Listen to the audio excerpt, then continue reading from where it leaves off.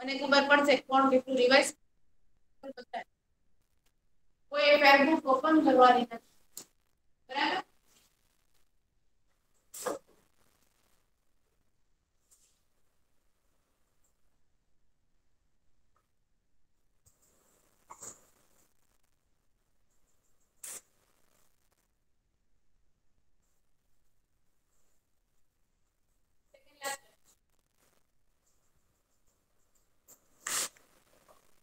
Chapter three નું name શું?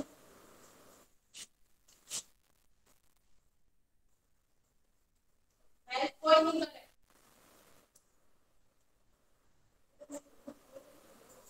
હું કવર નથી કરવા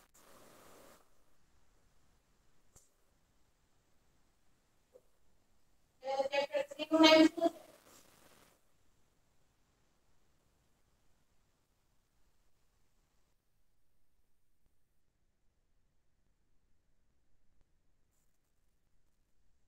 છે લેખક લેખકનું નામ મહેનત નો રોટલો લેખકનું નામ શું છે લેખક છે પન્નાલાલ પટેલ પન્નાલાલ પટેલ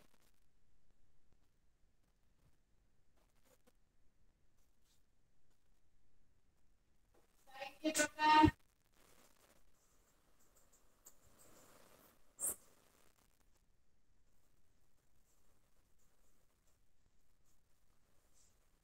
લાસ્ટ સાહિત્ય પ્રકાર પહેલા તો કેટલાને ખબર છે કે સાહિત્ય પ્રકાર એટલે શું? સાહિત્ય પ્રકાર કોને કહેવાય? કોને ખબર છે?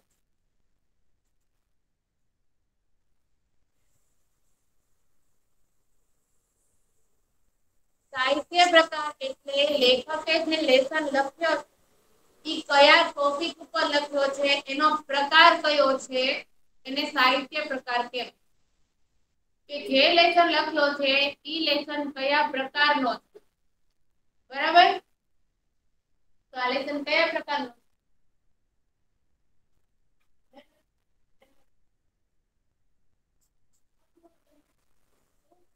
Ma'am lesson. સાહિત્ય પ્રકાર પૂછું છું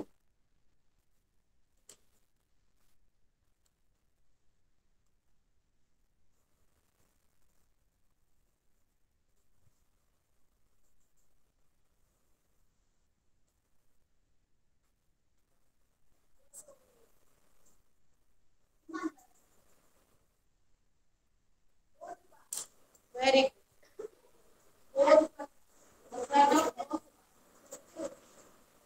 મહેનતનો રોટલો એનો સાહિત્ય પ્રકાર છે બોધપાઠ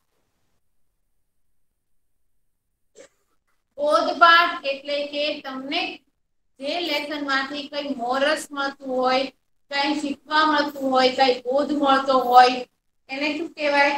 બોધપાઠ. બરાબર? તો આ લેસન નો સાહિત્ય પ્રકાર શું છે? બોધપાઠ. બરાબર? ચલો. લેસનમાં કયા કયા પાત્રો આવે છે? પાત્રો મીન્સ કયા કયા કેરેક્ટર આવે છે? મેમ બે કેરેક્ટર છે. કયા કયા? સાધુ અને સાધુ અને મોચી. મોતી ભગત. એક છે સાધુ મહારાજ એક છે મોતી ભગત. બરાબર? સાધુ અને મોતી ભગત. સ્ટોરી કોને યાદ છે એમ મને યાદ છે. બેટા હું તને પૂછું ત્યારે આન્સર આપજો ઓકે? હળવેલ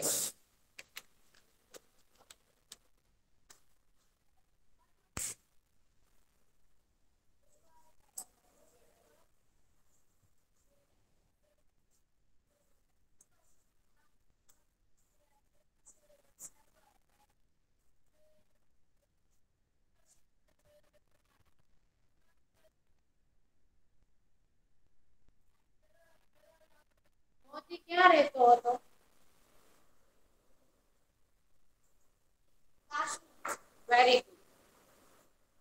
નગરીમાં મોતી ભગત ક્યાં રહેતો હતો?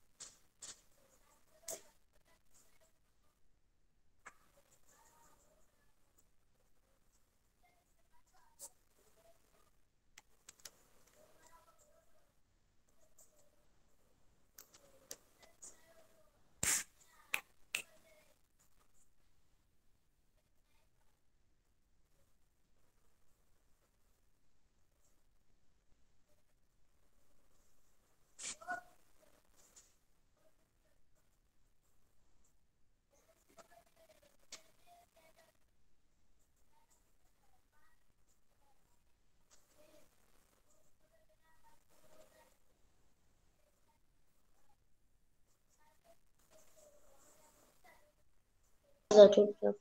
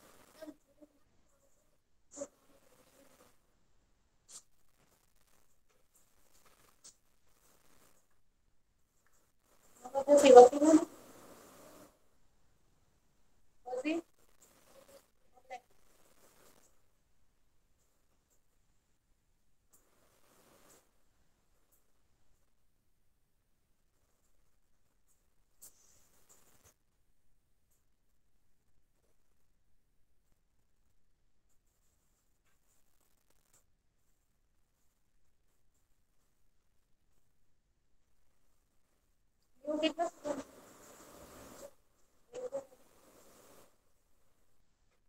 એવું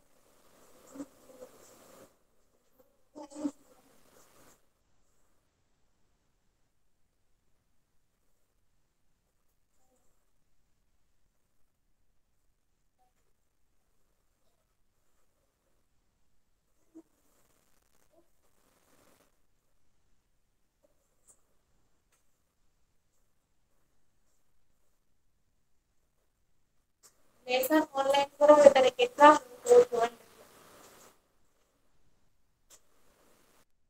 કેટલા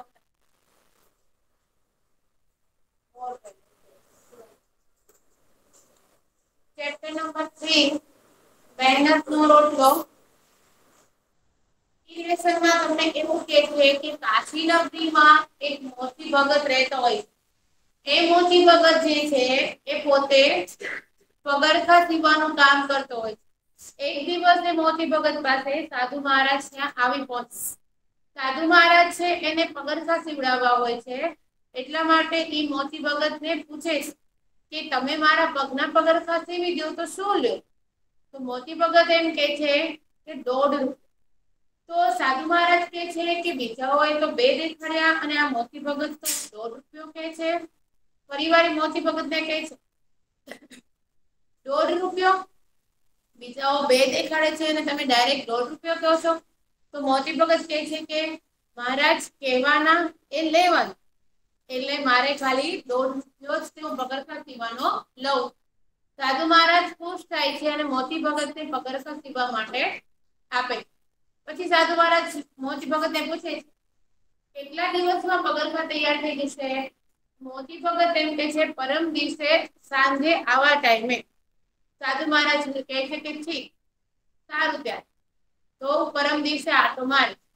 બીજો દિવસ થાય છે, મોતી ભગત જે છે પગરખા સીવતો હોય છે, સાધુ મહારાજને મોતીના વૈડમાં વિશ્વાસ નથી.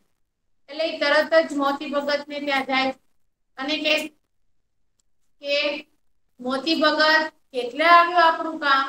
ત્યારે મોતી ભગત એને શાંતપણે જવાબ આપે છે કે, મહારાજ, પરમ દિવસે તમારા પગરખા તૈયાર હશે પરમ દિવસે આવ જાઓ. પાછો ત્રીજે દિવસે સવારે જાય પરિવાર શું છે મોતી ભગત કેટલે આવ્યું આપણું કામ? ત્યારે મોતી ભગત છે ખૂબ જ ગુસ્સે થાય છે અને કહે છે, મહારાજ નાહકના ધક્કા શું કામ ને ખાવ છો? તમને કહ્યું પગરકા છે એ તમારા ટાઈમે છે, પરમ દિવસે સાંજે તૈયાર થઈ જશે. તો પછી શું કામને ધક્કા ખાવ છો? જાઓ. પરમ દિવસે સાંજે તમારા દરખાસ્ત તૈયાર હશે. મોતી બકા સાધુ મહારાજ કહે છે કે ડીલ ન કરશો, મારે બહાર ગામ જવાનું પ્રમ દિવસે સાંજે મોતી ભગત જ્યારે ત્યારે તૈયાર ત્યારે સાધુ મહારાજ છે, એ મોતી ભગત ને પૂછે છે, કેટલા દેવાના? તો દોઢ રૂપિયોમાં આપે છે. પણ સાધુ મહારાજ પાસે છૂટા પૈસા હોતા નથી. એટલે એ તેઓ બે રૂપિયા બતાડે તો મોતી ભગત કે છે કે, સાધુ મહારાજ, આપ જરા ઊભા રહો. સામેની દુકાનેથી હું પરચુરણ લઈ આવું. એટલે કે હું દોઢ રૂપિયા છે, એનો છૂટા લઈ આવું. પછી તમને પચાસ પૈસા પાછા આપ સાધુ મહારાજ શું કે છે સામે એને? કે, મહારાજ સાધુ મહારાજ કે મોતી ભગત મારે દોઢ રૂપિયો જોતો નથી. કારણ કે મોતી ભગત ના કામથી ખૂબ જ ખુશ થયો હોય છે. મોતી ભગત એને ટાઈમ ટુ ટાઈમ જે પગરખા સીવીને આપે છે, એનાથી ખુશ થાય છે. એટલે કે છે કે, મહારાજ, મારે પગરખા જોતા, મારે દોઢ રૂપિયો છે, મને પચાસ પૈસા જોતા નથી. તમે સીવવાની દોરી લાવજો અથવા તો તમારે તમાકુ પીજો એવું કે છે. તો મોતી ભગત કે છે કે, મને ના ના હકમાં પૈસો ન ખપે. મારે જોઈતા નથી. તો મોતી ભગત જયારે સામેની દુકાનેથી પરચુરણ લેવા જાય એટલી વારમાં તો સાધુ મહારાજ શું કરે છે? કે પોતાની જોડીમાંથી પારસમણી કાઢી અને મોતીના બધા જ તે પગરખા સીમાના ઓજારા ઉપર ઘસી દે. તો મોતી ભગત છે એ બિચારો દુકાનેથી પાછો આવે છે, ત્યારે સાધુ મહારાજને પચાસ પૈસા પાછા આપે તો સાધુ મહારાજ એમ કે મોતી ભગત, મુઠ્ઠી મુઠ્ઠી ચણા માટેના પૈસા તો આપો. મોતી ભગતે પૈસા આપે. તો કે મુઠ્ઠી ચણામાં તમારું શું થશે? હાલ્યો. વધારે પૈસા આપે છે અને પછી સાધુ મહારાજ ત્યાંથી જતા રહે છે. દુકાન ઉપર આવીને મોતી ભગત જોવાય છે તો બધા ઓજારો કેવા થઈ ગયા હોય છે? સોના મોતી ભગત છે નિશાસો નાખીને બગડે કે આ બધા ઓજારો સોનાના થયા શું થશે હવે? હું કઈ રીતે કામ કરીશ ત્યારે મોતી ભગત એમ કે છે કે, કાંઈ વાંધો નહીં. ગમે તેમ કરીને સાધુ મહારાજની ઈચ્છા તો આપણને સુખી કરવાની હતી. એટલે મોતી એના સોનાના બધા ઓજારો ખૂણામાં મૂકી દે અને જૂના ઓજારો લઈ અને ફરી પાછું કામે લાગી જાય અને પછી છે, એક વર્ષ બાર એટલે કે બાર મહિના મજૂરી કરે ત્યારે નવા ઓજારો મેળવી શકે અને પછી થોડા દિવસોમાં સાધુ મહારાજ મોતી જયારે વજન ગણતો કામ કરતો હોય છે, ત્યારે સાધુ મહારાજ છે, એ ત્યાં આવી પહોંચે અને પૂછે છે, કેમ છે મોતી ભગત? સાધુ મહારાજ મોતી ભગત કે સાધુ ને એવું હોય કે મેં તો એને આ પગારો સોનાના કરી દીધા, તો એ મારો આગતા સ્વાગતા કરશે, માનપાન કરશે, પણ એવું થતું નથી. મોતી શું કે છે?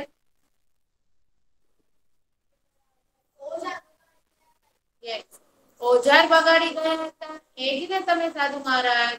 ત્યારે સાધુ છે ઈ આશ્ચર્ય થાય છે કે આ મોતી ભગત મને આવું કેમ કે છે? પછી મોતી ભગત જે છે ઓજારો વેચીને દુકાન પાકી કરાવો. તમે બેઠા બેઠા ખાઓ, કામ કરવા માટે માણસો રાખો. મોતી ભગત સાધુ મહારાજ કે મહારાજ, ભગવાને આપણને હાથ પગ કામ કરવા આપે છે. બેઠા બેઠા ખાવા નહીં, માટે આપણે જાત મહેનત કરવી જોઈએ. સાધુ મહારાજ છે મોતી ભગતની આ વાતને ખૂબ જ સારી રીતે મગજમાં ઉતાર્યા. અને મોતી ભગત કહે છે કે મોતી ભગત મેં આજે તમારે બધા ઓજારને સોનાના કરી દીધા.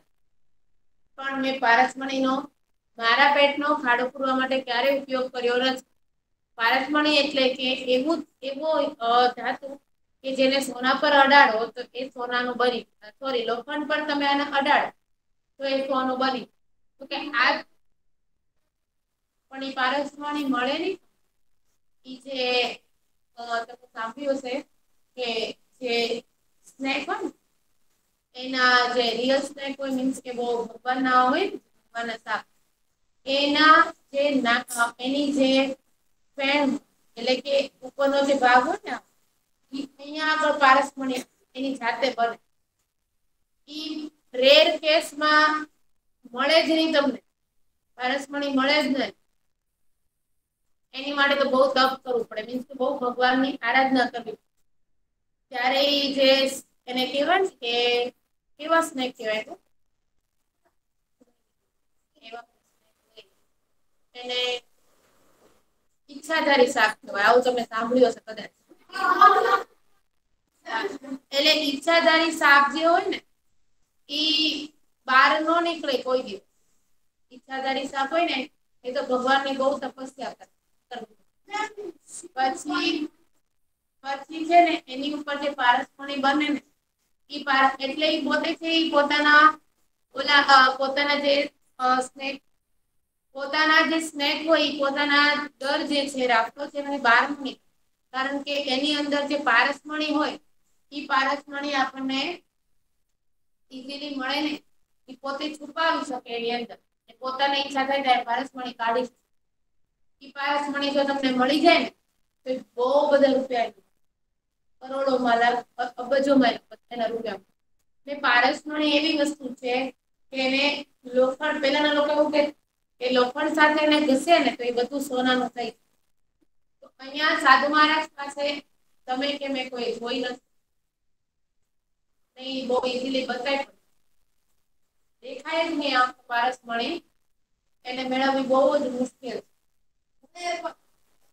મળે વર્ષો ગયા છે તમે જીવતા ય ના વર્ષો વીતી સો બસો વર્ષ ગયા એમ પારસમણી કઈ મળી નથી એ બધું તો શું કે ભક્તિ ને શ્રદ્ધાનું કામ કે તમારા ભગવાન પ્રત્યે કેટલી શ્રદ્ધા છે એ ઉપર આધાર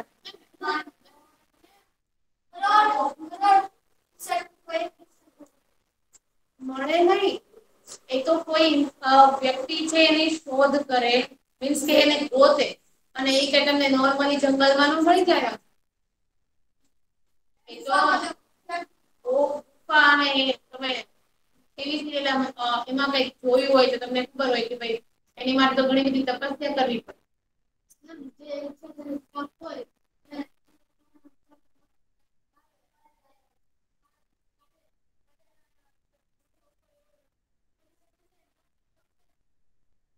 क्या गाइडेंस प्राप्त होने आपको चलाने एक ऊपर पड़ी गई अलग मैं જોઈ ન શક તમે નથી પારસમણી મળતી પારસમણી મળવી એ બહુ અઘરી છે અને એક હીરો જ પારસમણી એટલે કે હીરો તમને ખબર હશે કે રૂબી છે પછી બધા ડાયમંડ આવે ને અલગ અલગ એવી જ રીતના પારસમણી પણ એક જ પણ એ બહુ ઈઝીલી મળતો નથી. ઘણા બધા કહેવાય ને કે વર્ષો પછી કે આ બધી સ્ટોરી છે સાંભળેલી રિયલમાં તો કોણે જોઈ છે એ કઈ ખબર નથી સ્ટોરી છે કે આપણે સાંભળ્યું કે આપણે દાદા છે દાદી પાસેથી કે આવા બિચારા રીતના હોય ને સ્નેક હોય પારસમણી હોય ને આવું થાય એ બધું સાંભળેલું. રિયલમાં કોઈ જોઈ કોઈ કોઈ દિવસ એવું ન્યૂઝમાં પણ નહીં સાંભળ્યું. એટલે પારસમણી એને જોડીમાંથી કાઢીને મૂકી નાખે સોનાનો વધારો થાય. અને સાધુ મહારાજ કે પછી મોતી ભગત એને સમજાવે છે? સાધુ મહારાજ એવું કે કે મોતી ભગત આજથી હું પણ તમારી જેમ જીવવાનો સાચો આનંદ મેળવીશ. હું પણ જાત મહેનત કરીને પૈસા મેળવીશ. હું પણ ભિક્ષા માંગીશ નહીં. આજથી તમે મારા ગુરુ ને હું તમારા ગર્વને જોતો રહીશ. એટલે જયારે મોતી ભગત છે સાધુ મહારાજ જાય છે, ત્યારે મોતી ભગત એની પીઠ પાછળ બોલે આપ તો ખરા સાધુ મહારાજ છો. બરાબર? એટલે આવી રીતના આખું લેસન સરસ મજાનું હિસ્ટોરિકલ લેસન છે. યાદ રહી જાય એવું છે. આ લેસન શેમાંથી લીધેલો છે? End of end of the લેસનમાં આવતું. લાસ્ટમાં બ્રેકેટમાં લખ્યું. આ લેસન શેમાંથી લીધેલો છે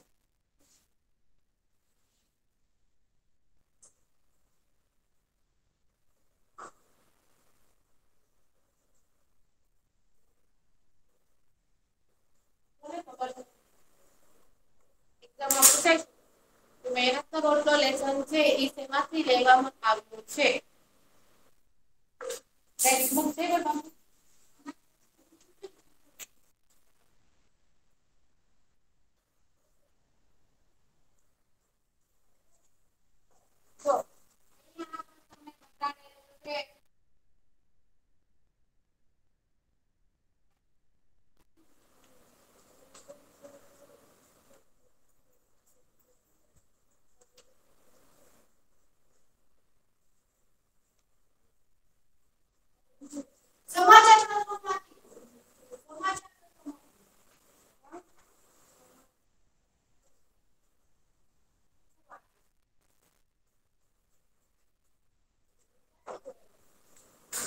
આ લેસનમાં તમને નથી આપ્યું બીજા લેસનમાં આપ્યું બતાવો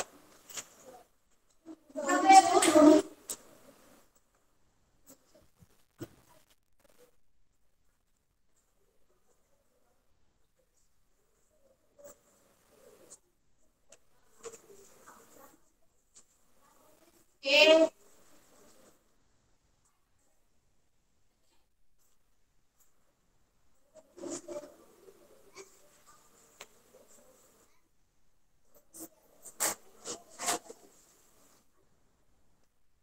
તમારે અત્યારે આ આમાં નથી આવતું એટ સ્ટાન્ડર્ડમાં જશો નાઇન્થમાં જશો એટલે એન્ડ ઓફ ધ લેસન તમને લેસન જ્યારે પૂરો થાય ત્યારે તમને લખીને આપજો કે લેસન શેમાંથી લેવામાં આવ્યો છે. ત્યારે હા છે ને ફિફ્થ લેસન તો અહીંયા તમને આપેલું છે ચેપ્ટર નંબર 5 છે, શરદીના પ્રતાપ. જો એન્ડ ઓફ ધ લેસન છે બ્રેકેટમાં આપ્યું કે રેતીની રોટલીમાંથી લેવામાં આવ્યો છે. બરાબર? એટલે તમને જે આ આખા બુક્સમાં એક જ લેસનમાં આપ્યું જ્યારે 8 માં આવશો 9th માં આવશો એટલે તો મોસ્ટ ઓફ લેસનમાં લખ્યું હશે કે આમાંથી લેસન લેવામાં આવ્યો તો એ પણ એક્ઝામમાં પૂછાય. સાહિત્ય પ્રકાર રીડ કરવાનો છે. બધા લેસનનો લેસન નંબર ફોર અને થ્રીનો લેસન ફોર નો સાહિત્ય પ્રકાર છે. સુંદર સુંદર છે એનો સાહિત્ય પ્રકાર પ્રકૃતિ ગીત છે. આનો સાહિત્ય પ્રકાર છે બૌદ્ધ કથા. બરાબર? નેક્સ્ટ વીકથી નેક્સ્ટ વીક મંડે જ્યારે સંસ્કૃત નો લેક્ચર આવશે, ત્યારે આપણે સંસ્કૃત નો સિક્સ લેસન એક્સપ્લેનેશન બાકી છે. આજે સંસ્કૃત નો લેક્ચર છે ને, આજે જે સંસ્કૃત નો લેક્ચર છે એમાં સિક્સ લેસનનું એક્સપ્લેનેશન કરાવી દઈએ. એફએ ટુ નો સિક્સ લેસન નો એક્સપ્રેશન બાકી છે, એ કરાવી દઈશ મંડે થી ન્યૂ સિલેબસ સ્ટાર્ટ થશે.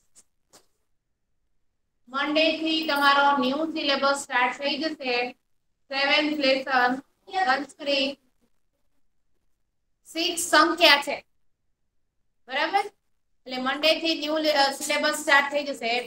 એસે વન હવે તમને પીડીએફ નહીં શેર કરું આપણે બોર્ડ વર્કથી અહિયાં લખ ઓકે ઓકે. અત્યારે જેને ફેરબુક ઇનકમ્પ્લીટ છે એને કમ્પ્લીટ કરવાની છે.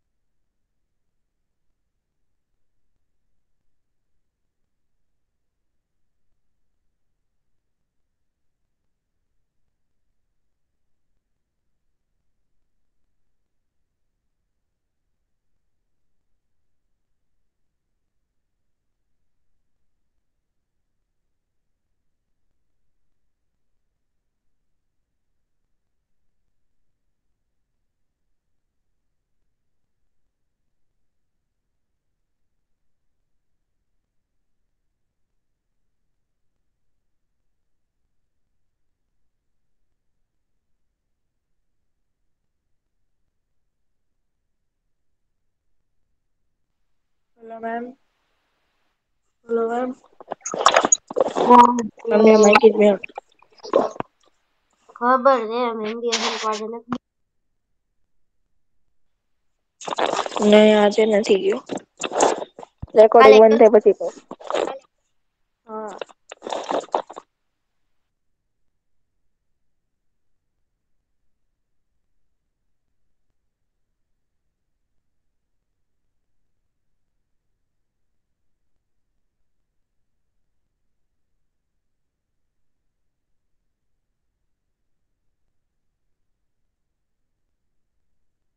Problem ma'am? चुप रहे रिकॉर्ड शुरू।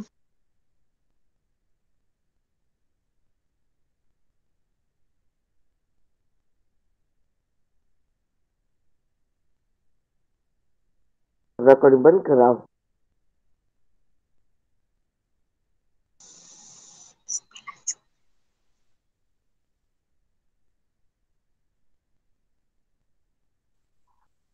couldn't stop.